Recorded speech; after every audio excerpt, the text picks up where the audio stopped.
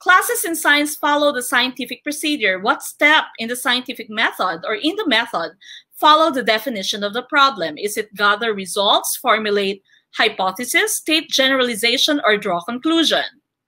Okay, this is very easy. This is one of the most common uh, first topics that we have in science. Mostly, no, pag um, nag-start yung klase, science kaagad is scientific method. All of you are answering letter B. Okay, and that's the correct answer. It is to formulate your hypothesis. All right, so this is your scientific method. The first step, of course, is to ask a question, ask a scientific question. Um, then you do some research. Okay, so you may observe. You, of course, when you say observation, you use your five senses. Of course, doing research is not part of our choices a while ago. Now, number three is to form a hypothesis. So when you say hypothesis, this is an educated guess. Okay, educated guess is an hypothesis. Then after that, you test your hypothesis hypothesis through experimentation. Okay, so you conduct an experiment based on your hypothesis. The main reason why we conduct where we conduct experiments is to check whether your hypothesis is true or not, whether your hypothesis is correct or not. Then after that, you gather your results, you analyze your data, then you draw your conclusions. So again, your answer there would be letter D. It is to, uh, no, letter B, it is to make your or formulate your hypothesis.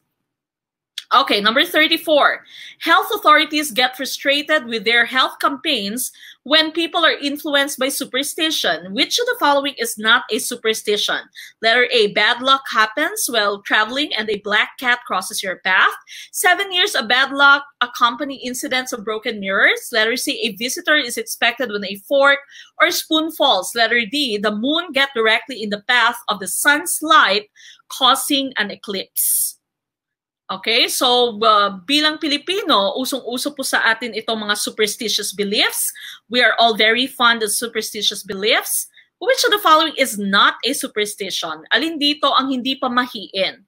Is it letter A, bad luck happens when traveling and a black cat crosses your path? Pag merong uh, itim na pusa na mag-cross sa path mo. Letter B, if you break a mirror, then you are going to have seven years of bad luck. Letter C, a visitor is expected when a fork or spoon falls. Diba? Pag nahulog yung ating mga uh, kubiertos, yung kutsara, tsaka yung tinidor, sinasabi natin may, may darating na bisita. Letter D, the moon get directly in the path of the sun, of the sun's light, causing an eclipse. Okay, I think it's pretty obvious. The correct answer would be letter D. The moon get directly in the path of the sun, causing an eclipse. Now, we have two types of eclipse, lunar eclipse and solar eclipse. Um, if you want to know the difference, I will not go into details anymore because we have a separate video on this.